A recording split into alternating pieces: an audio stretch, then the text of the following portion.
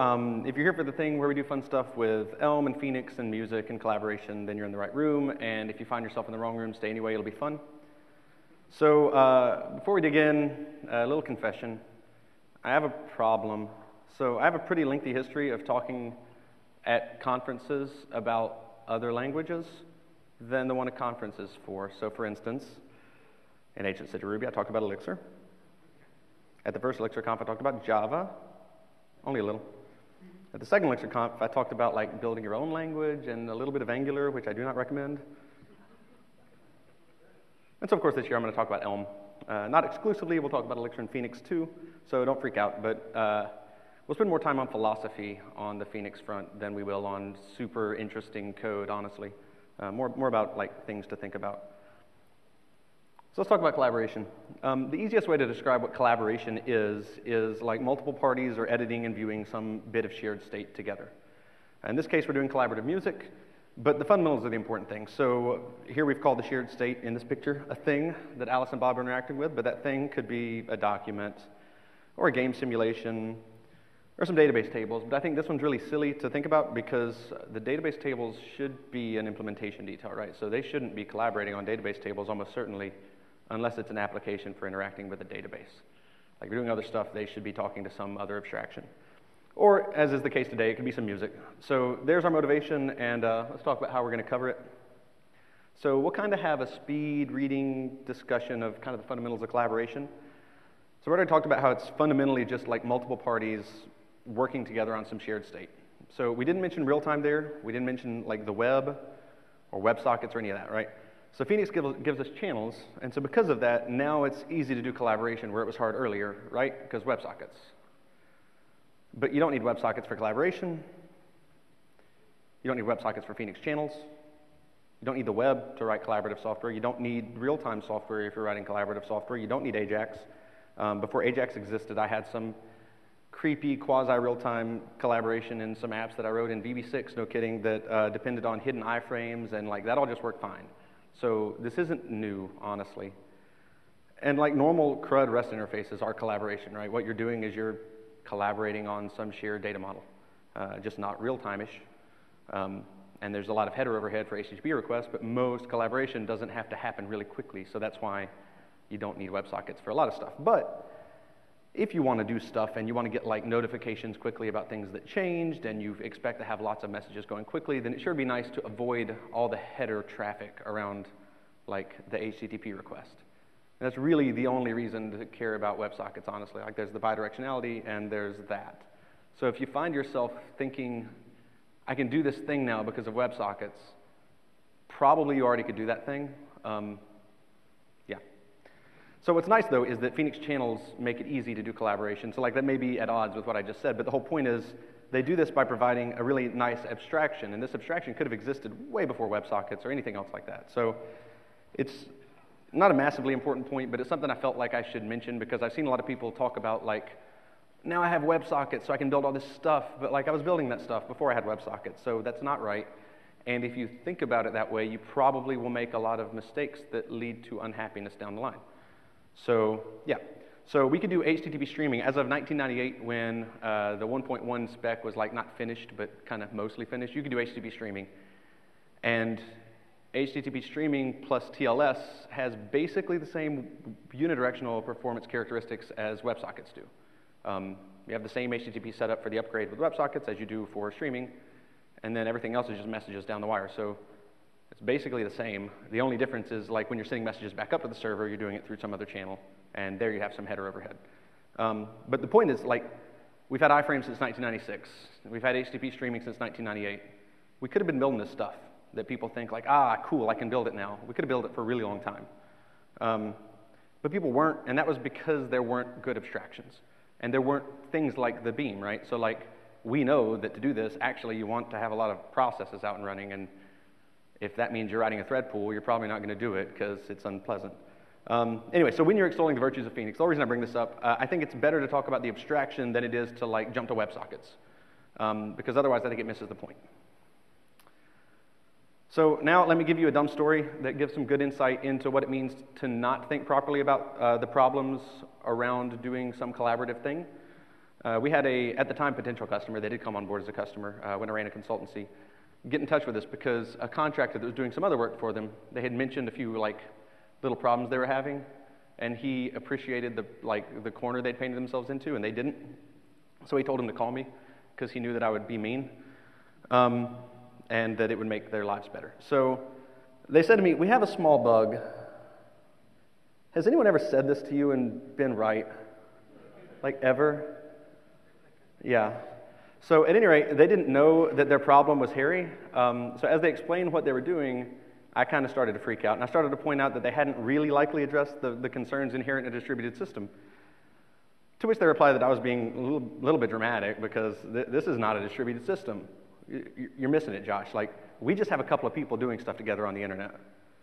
Um, so ultimately, it was like two people. It had two people. It was a distributed system, though, and it had exactly those problems. So they're interacting with some shared state in a customer service like quoting app for this solar thing, solar panel installation thing. And it worked really, really well most of the time, but every now and then, like, the state would get out of sync between what the CSR was seeing and what the customer was seeing. And so this is just a little bug to fix, right?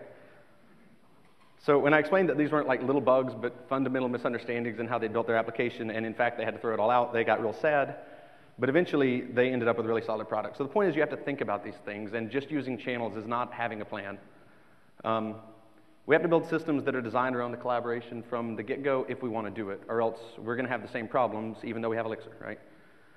So I wrote a lot about like Leslie Lamport and total ordering and happened before and Lamport timestamps and vector clocks, but A, there's not enough time, and B, I would probably butcher it if I actually said it. Um, I'm glad to talk about all that stuff later if you want to talk about it, but um, the point is there are all these things that you should know about if you're building a distributed system or at least you need to know that it's okay to ignore them for very specific reasons. Now, in my example, we ignore them for very specific reasons, which is nice because it makes it easier to give the talk. Um, but one way we can sort of see the problem is like in a chat log. So the chat log is the, t- and I say the chat log, a chat is the sort of traditional channels intro, right? And a chat, you can think of it as like this thing where you're talking to each other, but really it's collaborating on some state. The state that you're collaborating on is the chat log, like the stuff that happened historically. And so, in general, almost every Phoenix chat that you see, the example, is not, um, not like the stuff isn't really serialized. So, like, there's not a thing that owns the chat log so much, like the database does, right? It, it owns the chat log pretty much. But generally, in all the examples that I've seen, when you post a chat, like you also show it in your interface, right? But if somebody else posted a chat and that one made it to the server before you, then your interface doesn't reflect the true ordering of events, right? So you would show your chat here, but happening before the other guy, but the chat log on the database, which is the you know, canonical source of truth, disagrees. And mostly we just kind of hand wave about that and, and ignore it. But the point is, to get it right, you either have to have something like hard like Paxos or Raft or something, or you need to have like just this one thing that, that owns it all and tells everybody what's what. Um, anyway, so I'm going to skip all the really confusing uh, or hard to talk about things with collaboration, but I'm glad to talk about them in the hallway if you want. Um, and you can tell me how I'm wrong about them. But we will go on from there and we'll talk about an application that I built in Elm and Phoenix. It exists as a kind of like introduction to doing real time collaboration with these two things that are amazing. And the reason I wanted to give this talk is because I'm really, really happy when I write Phoenix and Elm stuff, like super happy, way happier than I ever have been before writing software. So this thing is called Colluder. Uh, you can get it on GitHub. It's right there. Uh, I'm knewter on GitHub because I thought that was really funny when I was 14, and just go with it.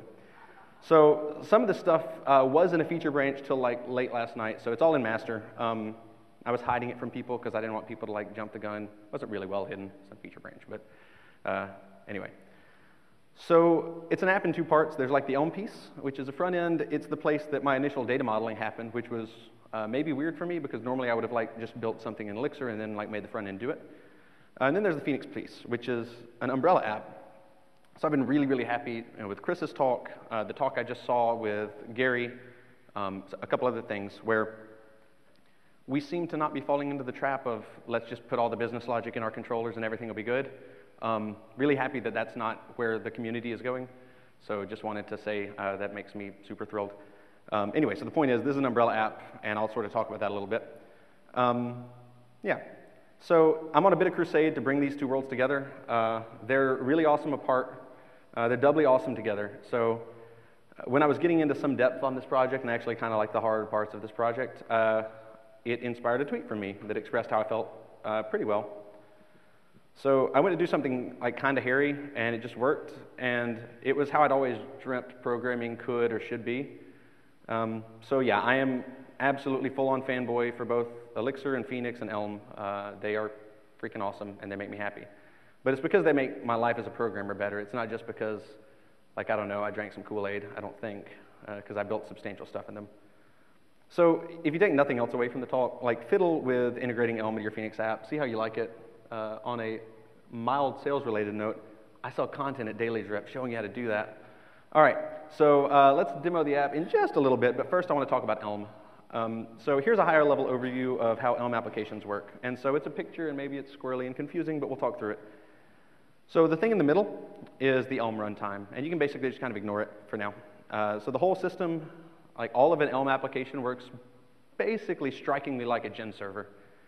So in the white boxes, you see there are some types. So there's model and message, and these are the types that describe your system. So like the messages would be like the kinds of casts that could happen in your gen server. And the model would be like the state of your gen server. Um, yeah, so that, that's all. And then there's those green boxes are the four functions you create. So there's init, which produces your first model. Like this is init from gen server, we know it. Uh, update, which is like your handle cast, uh, pattern matching all these different messages. Uh, you have the view, which is a pure function from your model to the way your UI should look. And then you have subscriptions, which is just like stuff outside of your user interactions that you would like to deal with. So, for instance, timers or WebSockets or something else. I don't know, anything else that you didn't initiate that came from the outside world. So from there, the Elm runtime wires all these things together for you. So when a user interacts with the view, uh, she might produce a message. And so the runtime gets that message and then pushes it and your current model back through your update function. And then you give it a new, up, a new model, and then it sort of replaces that under the hood, and then your view renders. So that's, that's sort of how it works. Sorry, same thing with description, uh, subscriptions.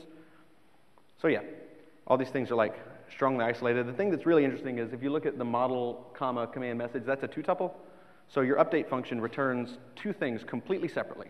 There is, this is how I want the state of my application to change.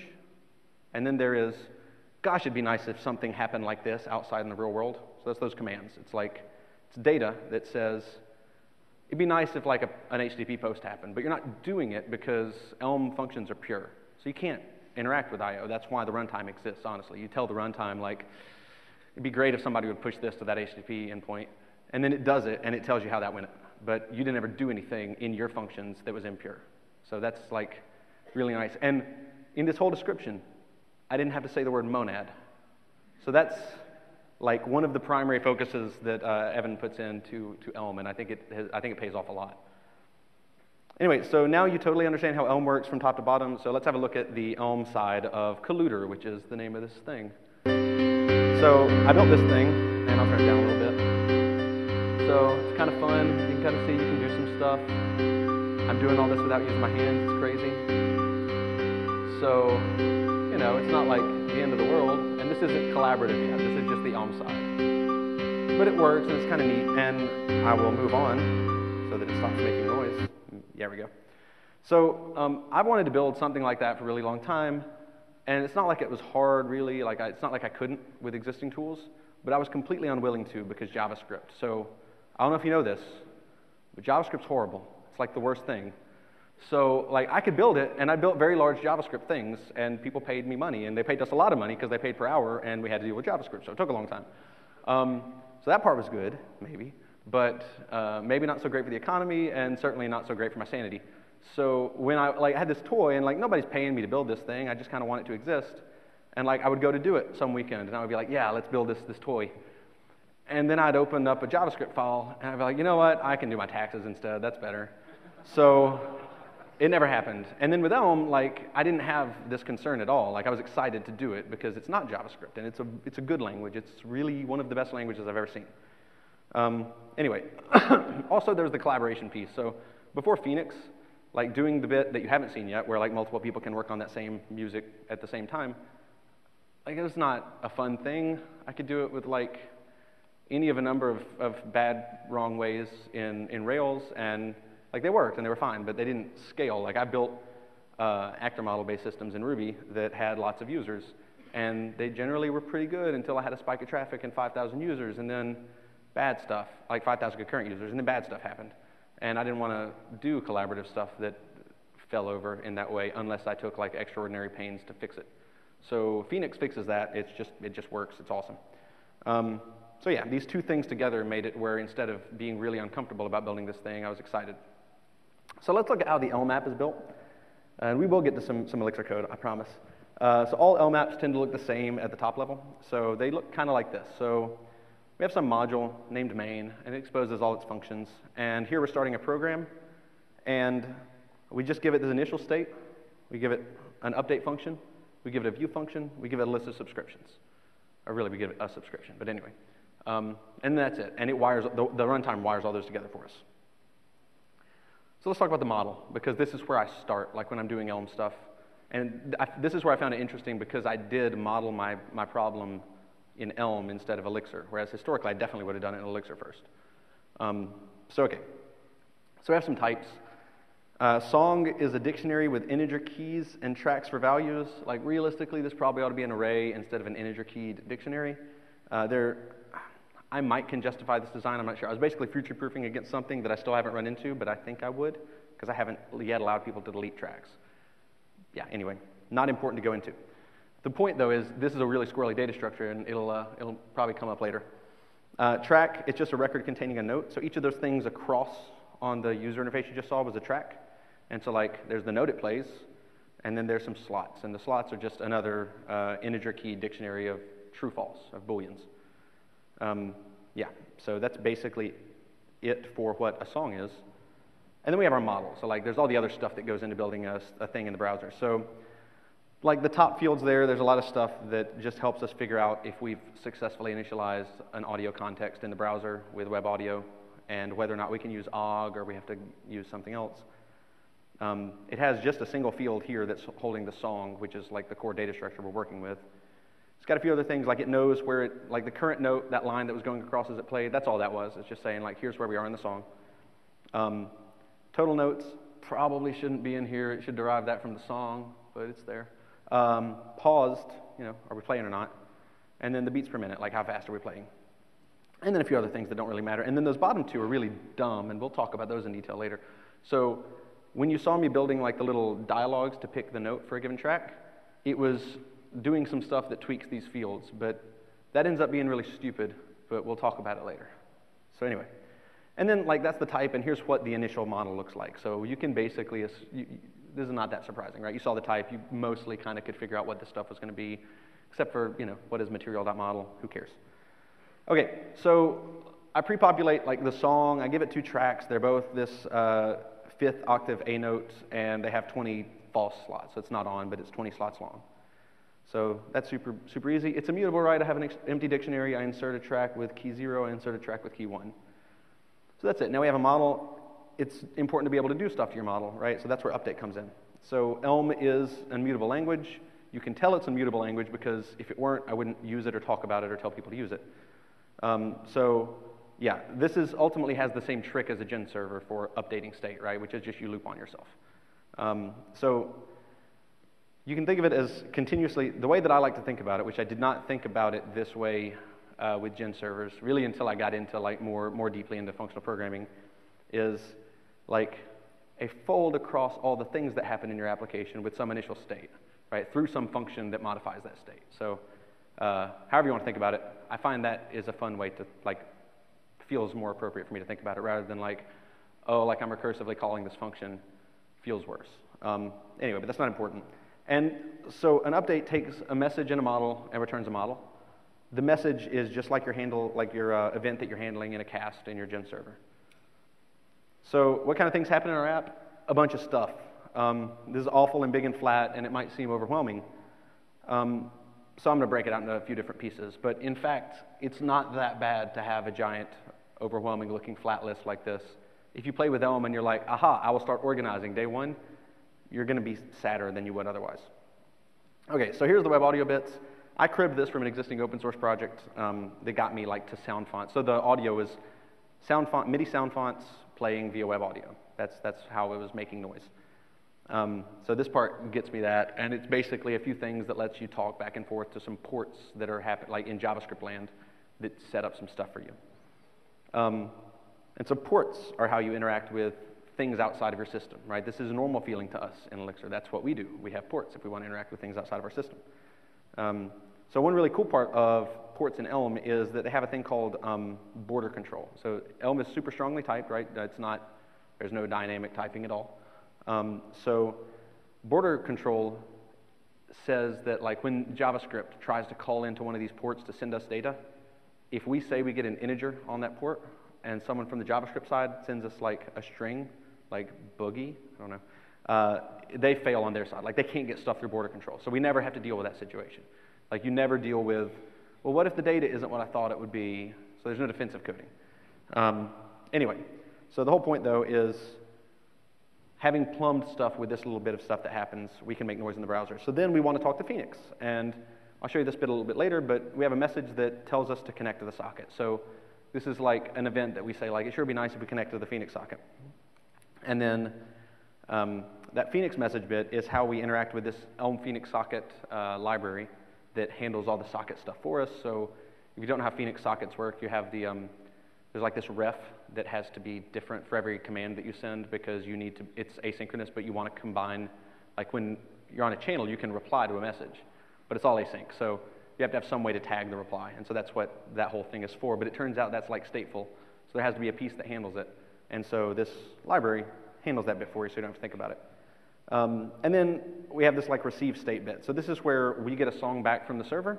It's a JSON encoded value. And then, yeah, so this is how we handle that. Um, so I built a thing called that, that supports Phoenix Presence. Uh, it's a library. I'm still trying to get it merged into Elm Phoenix Socket. It's since like two months old now at the pull request. I don't know why it's not merged yet. I'm probably going to. Anyway, the point is you can do you can do present stuff too, but we're not doing it in here. Uh, so the actual app that you saw doing stuff is basically this bit. So we have a tick that happens based on the model's beats per minute, and that's what moves us on to the next note. We can check a slot on a given track, so when you click a track, that's what happens.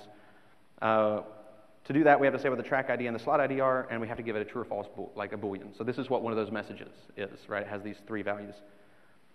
Um, and these are, this is like a union type or an algebraic data type. If you hear those words, that's all this thing is. And it's really fancy way of saying like, there are only certain things that can happen. It's not, yeah, it's not, not hard. Um, and then like you can add a track, you can set the beats per minute, you can toggle whether or not it's paused, and then those last three bits, again, are the really dumb thing that we're going to fix later that handles that kind of wizard view. Um, and then that brings us to the update function. So can everybody see this? Okay. Uh, we'll look at it piece by piece, and I'm going to go real fast. So the first thing is notice that I lied to you earlier. I said you got a message in a model and you return a model, but really we're returning the two tuple, right? The model and the command message because we want to do stuff in the outside world. We want to interact with WebSocket. So we have to, and we also want to interact with the JavaScript runtime. So we have to have kind of this two tuple version because otherwise we're completely pure and we can't do anything with the outside of the Elm runtime. Um, anyway, and so this first basic bit just like initializes an audio context. There's some JavaScript that sets up a graph uh, using the Web Audio API. Make sure we can use OGG. This bit's kind of boring too, right? It just loads the web fonts for us, so we'll, we'll skip that bit. But you can kind of see what this is, right? Just update our model uh, every time we get one of these events. Or we send something out. So that, actually, I will point that out. So like most of these, I can't point, but um, that top one, right, it updates our model. It doesn't send anything out. The next one doesn't do anything to our model, but it does send something out. So a lot of times there's this like segregation where you're not doing, you're doing one or the other. Uh, I find this compelling, but you can't always do it without feeling like you're making stuff hard on yourself for no good reason. Anyway, so now we get to the UI messages. So if somebody clicks the pause or play button, we toggle the model's paused field. Cool, like just not model.pause. That's all that looks like. When somebody sets the BPM, we just set the BPM to whatever they sent us. And then we have the subscription that's happening in the backend. So like every time.minute times the interval, we send a tick message to ourselves, and that's what moves along the simulation. And so, like, if we're paused, we're just not sending that subscription across. So I find, I find this interesting. Um, anyway, and so we get our tick values, and when those happen, we call out to update nodes, which is a horribly named function. All that it does is literally like some mod math on current node. It probably shouldn't be its own function. I don't know why I did this. And then once we've done that, we request some notes. So we get all the notes, like based on where we are in the song. We find out, hey, like, are any of the tracks on at this point in time? And if they are, cool, like, will you play that note for me? That's all this does. Um, and that gives us a song playing thing, which is cool. And then, like, when a user clicks a slot, we have to trigger a thing, so we, we go do that. We update the, the track with a new slot. Um, when they set the note for a track, we update that track to play that MIDI note. Uh, when you add a track, we add a new track. We just generate one with the right size and slap it on the end. And this is the wizard bit. So like when you click on like the A5 or whatever, it sets this editing track. And because an editing track is set to something, just something rather than nothing as a maybe, then it shows that first dialogue. And then when you click a thing, it sets the note. And because that's set, it shows the second dialogue. But there's not like a connection of these things in the data model which, is, which means it's possible to do buggy things, and we can get around that later. Um, anyway, and finally, once you actually choose your octave, we have all the three bits of data that we needed, so we send the real message that we cared about, which updates the model. And then this part's like squirrely and ugly looking, right? God help us. This is big and like, I don't like it. Um, and this is because of the other stuff I mentioned that we're going to fix later. Like, there's just all this stuff that sucks a little bit about this. Um, but What's nice is in Elm, every expression, sorry, every function has a single expression. Uh, there isn't, it's not an imperative thing. There's one thing you do. And if you wanted to do some other stuff, you can't really do it imperatively. What you can do is like have a let expression that lets you set up some things to set variables, but they're not done in order or anything. It's, uh, you know, it's, it's, you're not going to be able to do kind of imperative coding in Elm at all, um, which is nice. So the whole point, though, is we needed these three values, and we had to get them through these other real squirrely places uh, to build this up. So this brings us to the Phoenix socket connection bit. So when you say, hey, I'd like to connect to a socket, we create this new data structure that represents our socket.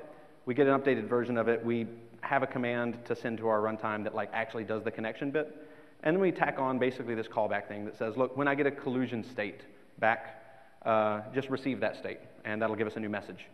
Uh, and we'll keep moving. Receive state basically we try to decode it. If we can't decode it, I'll log it to the console and don't do anything, right? Don't update my model. But if I could decode it, then I got a song back, so I replace my song. So this is the bit where we get to ignore all the hard stuff about synchronization because we're serializing access to this thing.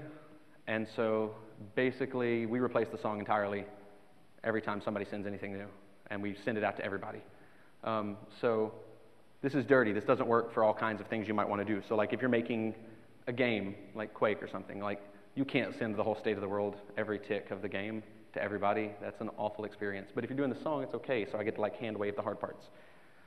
But you get a good experience when like with this setup, I've been able to like think about those hard parts a lot more simply than other times I've done stuff like this outside of Elm and Phoenix.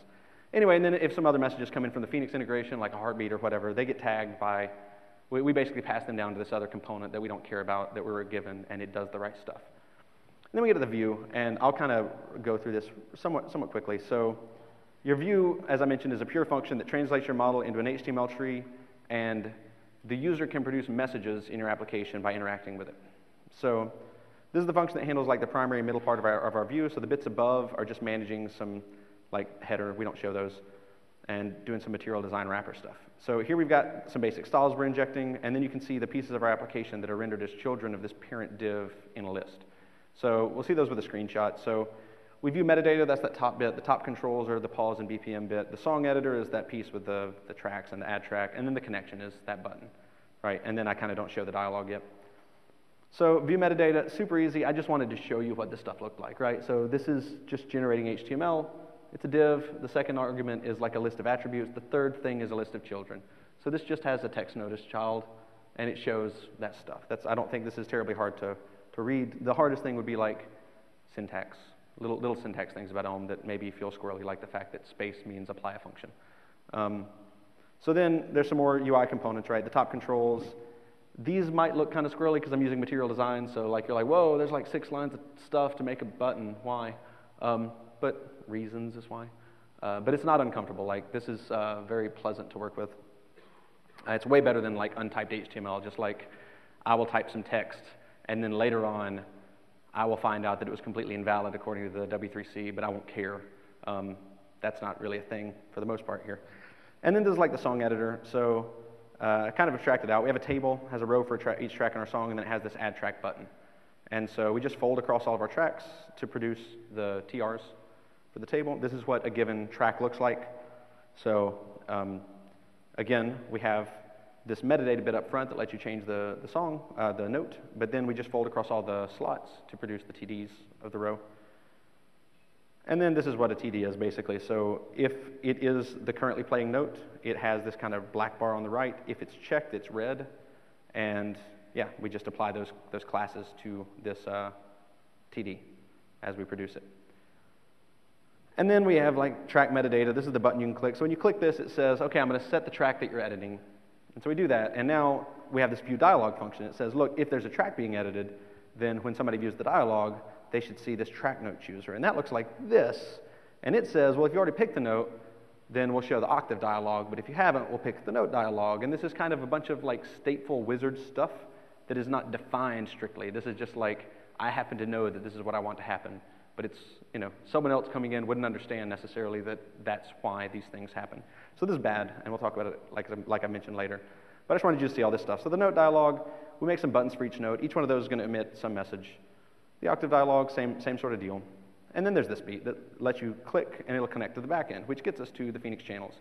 So that first bit was all me proselytizing for Elm really hard, and I thought it was worth doing because last year's ElixirConf is where I really, really got sold on Elm um, in the, one of the keynotes. And if a single person leaves here today thinking they want to give Elm a try, I feel like I did a good thing and they got their money's worth out of the conference. Um, but now we can talk about the Phoenix application. So I think that I mentioned that Chris's keynote was awesome because I think it's what Phoenix needed to help people uh, not fall into the Rails as my application trap in Phoenix. Um, so I want to kick this off with a preface. I'm pretty dumb. I used to think I was smart, and it turns out no. So I'll show you why that is. I'm constantly telling people, like beating this drum about Rails is not your app, Phoenix is not your app, whatever. So I went to start the collaboration part of this application. And imagine my dismay when I saw what I had done. I typed these lines right here, and I made this commit, and I felt good about it for about 10 seconds. But, like, look here. Uh, we want to make it possible to have some music editor that's collaborative. So I'll be like clicking around a bunch, and so will you, and so all this stuff will be happening. And any update's going to have to wait for the database to persist if we do this. But also, I never said I wanted to store this stuff in a database. I just kind of did it because I was on autopilot. So there's nothing relational about this data. It's a big blob that makes up a song. So why did I use a relational database to store? And the answer is because I'm dumb, super dumb, and I shouldn't be. So I killed this with fire, and I replaced it with an umbrella application. And so here we have two things. I have that top bit, which is Collusions, which is an OTP application that manages a gen server and like some supervisors for doing like song collaboration around a data structure. And then we have this OTP app that has no views, has no ecto, no anything. It just has a channel for sending messages into the OTP application. So yeah, that's nice. So here's the same state that we had in the Elm application, but ported to Elixir, and I'll run through it fairly quickly, but this is all it looks like, right? So it's got the awful data structure where we have uh, keys that are integers um, in a map, but whatever. And then there's this gen server that wraps the state. Once again, everybody can read that, right? Okay, so it's a normal gen server. Like we register it when we start it. Uh, we, so we have a name. So when somebody tries to start a song with a given name, we start it if it didn't exist. But if it did exist, we say like, Sure, that worked, guy, but we give them the one that was already running. Um, I don't know if this is smart, but it works for me. Uh, we get some state out of it. So, like, I'd like to know what tracks there are, how many there are, and honestly, all this stuff is really just so that I can write tests. And then you can do all the stuff that you could do with our messages, right? You can set a slot, you can set a note, you can add a track, and then you can get the state because it would be nice for us to be able to tell people what the song looks like. Um, and so I think that the fact that these things map so perfectly to the message, that portion of the messages, is kind of why there's like the a lot of people in the Elm community are like, why are so many Elixir people coming in? Because shouldn't we be using Haskell on the back end? And like, maybe, but not me. Um, so I think I know, I think this is sort of the reason that Elixir people feel so comfortable with Elm, because we know gen servers, and it's kind of the Elm architecture. And so like our server API looks kind of like we'd expect. Uh, we handle all these things, and we do some stuff, and it's not terribly important. You could sort of figure out how to modify the state. I just wanted to show it for completeness. There's a little bit more. It's a little lengthy, but it represents everything we do to do all of this stuff. So uh, we'll recap what we saw before. We had an Elm application that did neat stuff with music.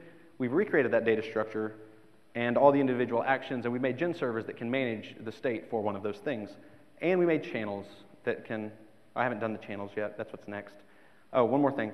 Um, there are tests. I think tests are super important. I'm not going to show them now, but you should know that I wrote them, and I wrote them first because I'm not a monster. So now we have the gen server. We'd like to be able to modify it when you make changes in your Elm application. And so our casts map one-to-one to messages in Elm. So if we could just like send those messages across when we do stuff, then it'll work, right? So again, our app is the gen server. It's not the Phoenix bits. But the Phoenix bits are what enable us to do this part. So the user talking to and hearing from our app over web standards, that's what Phoenix is for. That's what a web framework is for, the web bits. So we're going to slap a channel around the gen server. so here's the general idea. Um, they're just an interface to our gen server. Uh, they embrace it, they mediate access to it, but they're not it. Um, so here's a quick channel. It has stuff that you would expect. Um, when you connect to a channel, we start it. And you know, if it already existed, then we acted like we started it. When you send us these sort of, we, basically define a protocol for the messages you can send across the WebSocket or th across the channel, and we translate those into the function calls on the gen server. And so this is, you know, I'll show it all for completeness, but you can go look at the repo if you'd like to see how it works. So let's see this in a demo for reals. Uh, I've got it running on ngrok, and I'll visit that. It's right here. You can all hop on it if you want. Um, and I guess you're going to have to get it out of my uh, browser. Here, hold on a second. I have to do this, and then I have to do this, and maybe make you big. Okay, so there it is, and we'll just unpause it real quick and you can do stuff, right? So if somebody wants, oh, one thing, you have to click connect to backend. Okay, so yeah, yeah, people are doing stuff. Sweet. So now you can go through and you can like change notes and edit this thing, and it all just works, and it's awesome. And in general, if you have a really basic data structure, this kind of thing works for the most part, right? Um, oh, I don't want to make a seven. That's not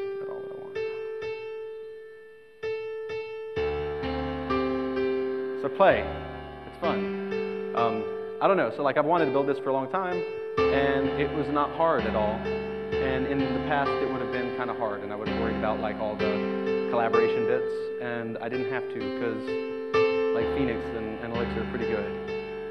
So I don't know. It's kind of awesome to build this in just a few hundred lines of code, I think. Um, but whatever. And this is, huh? Uh, what you ask? There's a rate limit? Oh. Awesome. Okay, we've been rate limited. That's fine. Uh, so anyway, so uh, yeah, the, the point is it's really fun to do, and uh, I will now go back to this bit if I can find it. So anyway, um, but this is dumb right? I'm sending the state every time anybody does anything, I'm sending the state to everybody. And so this might work with songs that are like 40 or so booleans, but what about some complicated state? Don't you want to just like send a diff or something smart? And the answer is like totally, yes, you do want to do that. Don't do the dumb thing in general. It works for this. That's why I'm showing this off. Uh, but it's not really hard, right? So you have like this gen server bit, and it can know what a given connected client knows about and what it's seen. And so you can just have some algorithm there that figures out, oh, like these are the diffs that I need to send you. And you could even figure out, like, well, I really need to send you like six messages, but I know that that would be more data than sending you the whole state, so maybe I just send you the whole state this time. So the point is, you put that stuff there, like in the, in the channel, put that sort of algorithm there. And it has is no relation to the rest of the app, right? That's just the part for communicating the diffs. But the interesting thing is you can do all that because you can think about your application because like it's, it's sort of broken out. Um, also, Quake World. So Quake World is awesome if you want to do uh, any kind of like collaboration stuff, like you should probably read how Quake World came to be because it's really neat. Uh, that's actually what I'll be doing for the next month. Um, anyway, but the point is, this is pretty cool. Um, and yeah. A few other tiny things. I'd mentioned repeatedly that that wizard was awful. So this is something that Elm taught me that I hadn't learned before. And so it's that you can make invalid things impossible to represent. So before, I could have had like the second step in my wizard set, but the first one not set. So if somebody forgot to update that correctly, then I'd have like an invalid state in my wizard and not what I wanted the user to see, but it would type check, right? It would be correct, but buggy. So if you don't remember, this is what that looked like. It was a couple of maybes. And we kind of inferred from the maybes like this other stuff, like this bit right here. But why did we have to infer it at all? Because we're the ones writing the code. So instead of those maybes with state that's like intermediate that I don't actually care about, I can have this. So there's a union type for the note chooser wizard. It can be either pending, or there can be a track being edited, or there could be a chosen note. And then I just store that on my model. So I'm not storing intermediate state, I'm storing the state machine, right? And then it's impossible to set it to an invalid state. It's just, there's not an option. Like those are the only three things it could be, and none of those are in invalid state. So that's pretty good. Um, and so then it kind of like this stuff is still pretty straightforward. This, this bit gets a little smaller, still a little bit wider than I want it to be because of that sort of maybe there. And I can fix that. One of the things that, like when we come back here, uh, I had a couple of people when I showed this to them go, ah, yes, use monads and it'll fix this. Oh, sorry, this is the wrong slide. Say, ah, yeah, use monads and it'll fix this. Just use like maybe and then or something. And that's sort of right, but the whole point is it misses the point. The point is I can make it impossible to make an invalid state. So it's not about making this code easier to write or easier to read. It's about making it impossible to do dumb things later down the road.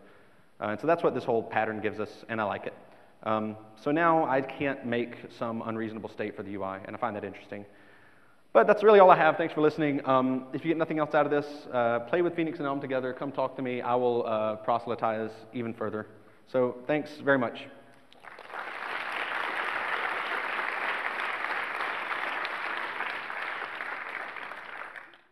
Yeah.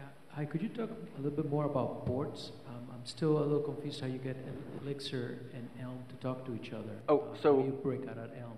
So ports for Elm specifically are about talking to, I'm going to say JavaScript because that's really a front end language right now, but so they're about talking to JavaScript. So they're about providing uh, this nice boundary where when you want to do something in JavaScript, you can have two things in Elm. You can have an inbound port or an outbound port.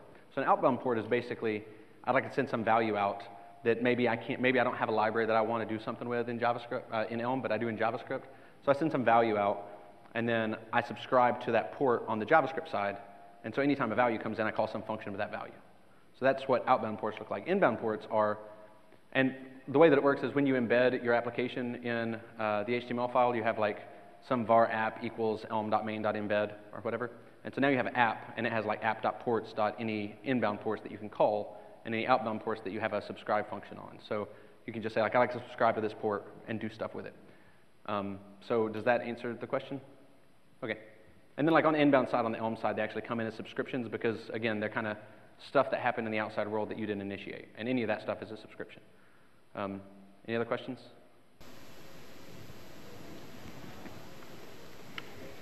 Um, hey, great talk, by the way. Um, when you put up a post, uh, sorry, you put up a slide saying, I love Elm and Phoenix, and there was something in the middle. Is that like the library that kind of helps you to bind the two together? Uh, which? Like Elm dash something. Oh, Elm Phoenix socket. Did I show that? Oh, Elm MDL. Okay, yeah. So no, that is completely unrelated to Elm to to Phoenix. That's literally material design. Uh, um, so I used material design stuff in here. So the thing that helps you bind the two together is called Elm Phoenix socket, and yeah. So like that's that Elm Phoenix socket is, is this guy up there in that picture. Um, but yeah, basically it makes it very easy to interact with, with the sockets from a pure Elm library. Um, and it just works and it's good. Okay, I think it's time for lunch. Okay. Thank you very much.